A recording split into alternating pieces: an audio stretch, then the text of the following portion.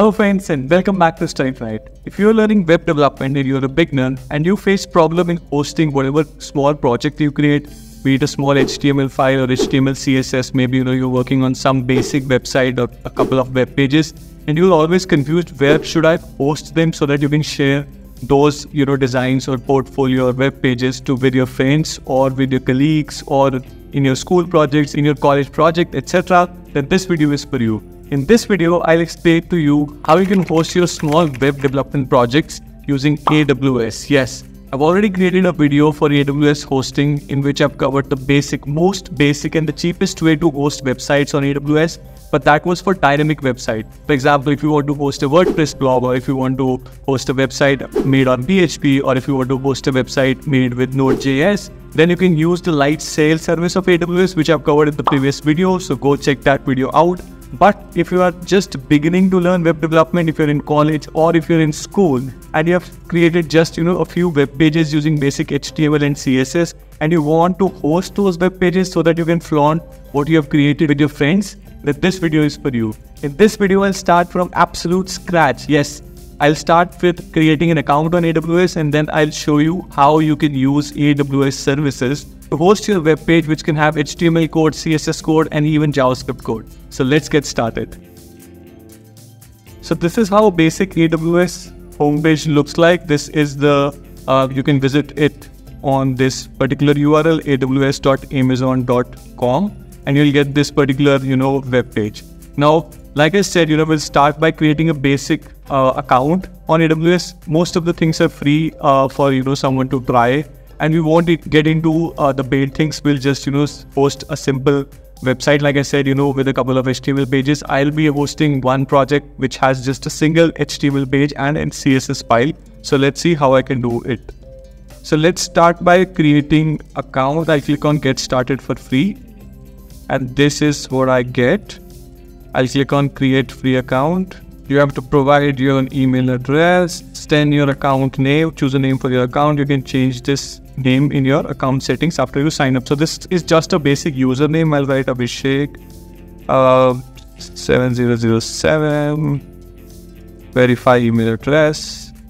Make sure there's this. We've sent so they've sent an email verification. I've entered the six-digit OTP that they sent me on email. You can also do that. Then I'm entering the password. Enter a password which is secure. Let's just move on. Not now. So I have to fill in these details. Let me just quickly do this. Alright, you have to provide your credit card information, which is a little tricky because I don't have my credit card right now. Let me get it. So when you sign up, you'll have to add your card details. Although you know we won't be using anything that is paid, but yes, for formalities, and it will deduct two rupees, like you can see it's asking me for a deduction of 2 rupees from the account just to verify your card.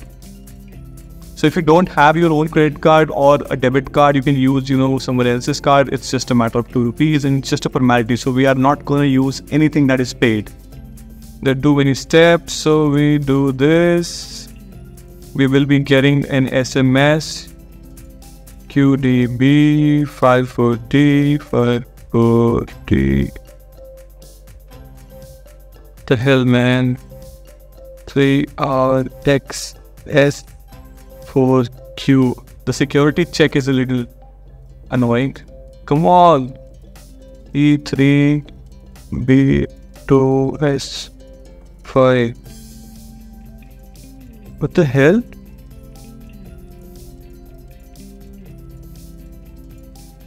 Please type the numbers you hear.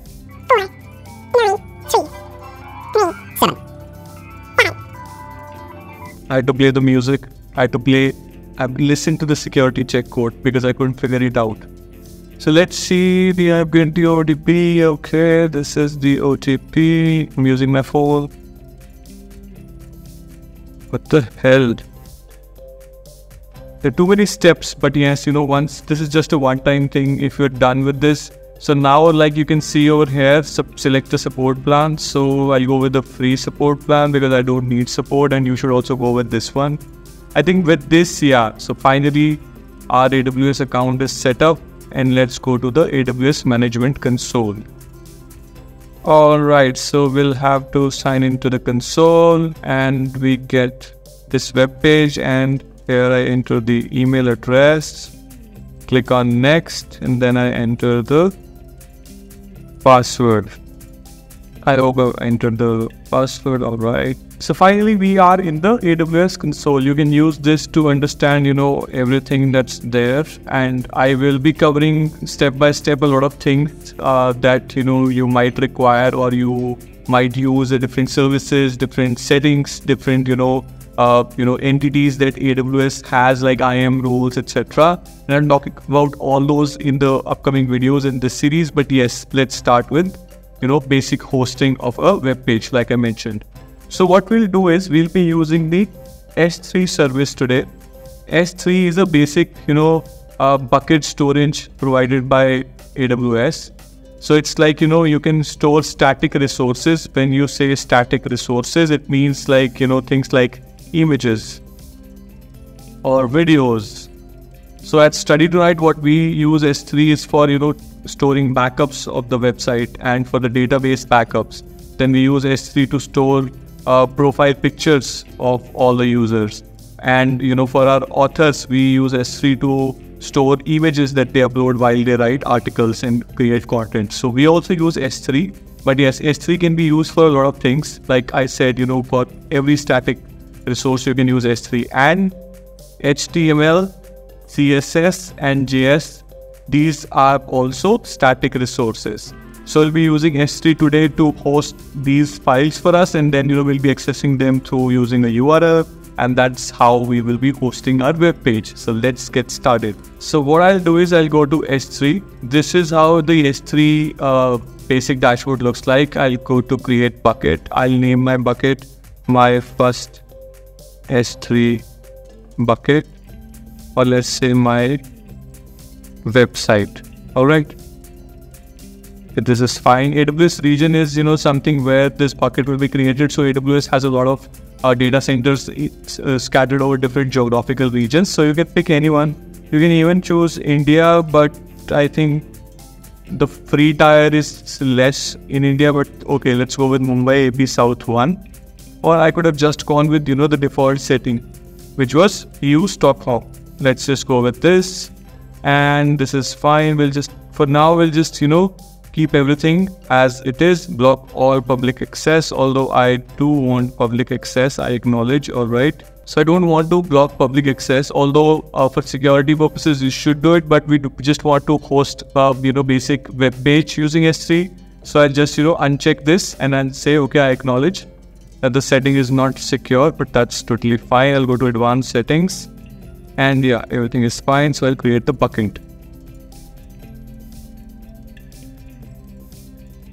this already exists. So here, you know, I've used this name now, ST basic website. You know, you can name your S3 bucket as per your requirement. You can even use your name, right? Abhishek hyphen my first website, etc. You can use anything that you want to.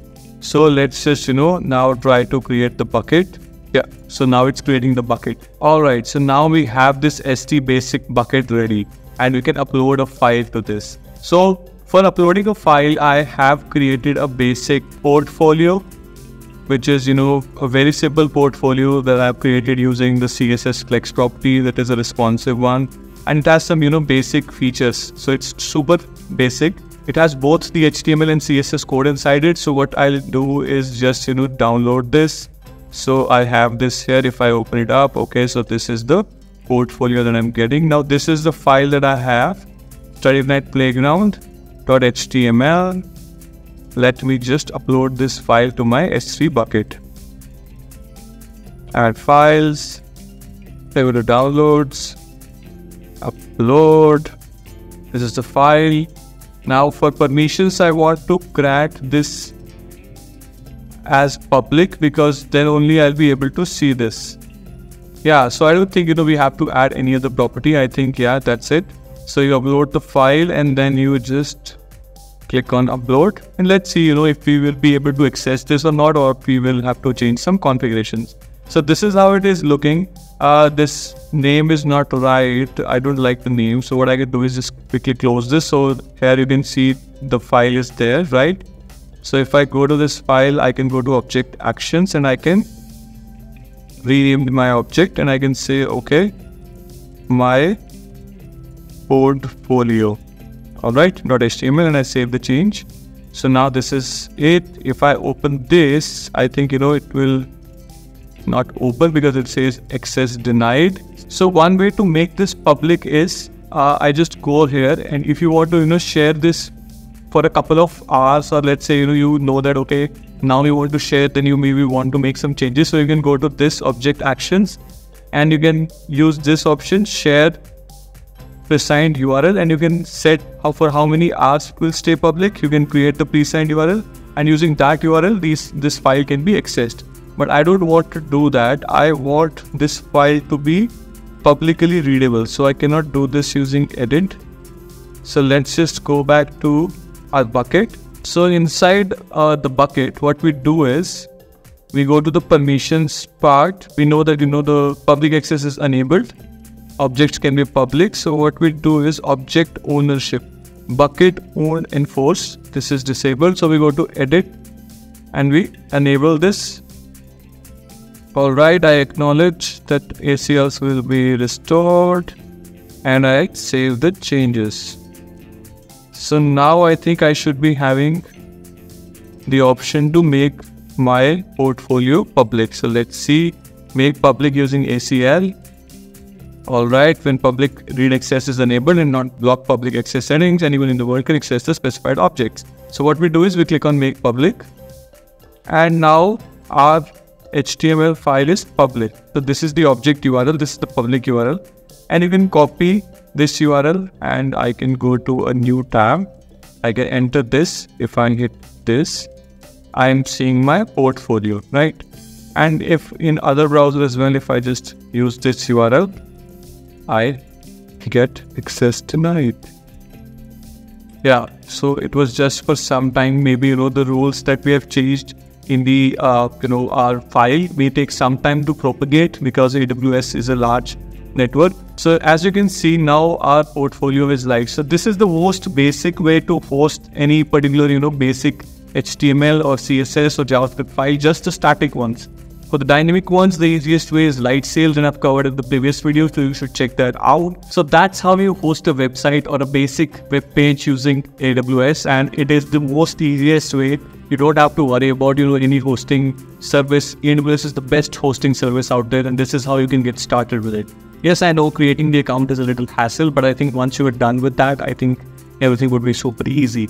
If you like this video give it a thumbs up. If you face any problem while doing this while following this uh, steps that i've shared you know, please post your comment and we can discuss. I can help you out with whatever uh, issues that you are getting. If you have not subscribed to our channel, please do subscribe to the channel. I post good videos like this regularly, and I'm creating a complete series on AWS services. So if you want to learn about AWS, you should definitely subscribe to our channel. Thanks for watching the video. See you next time.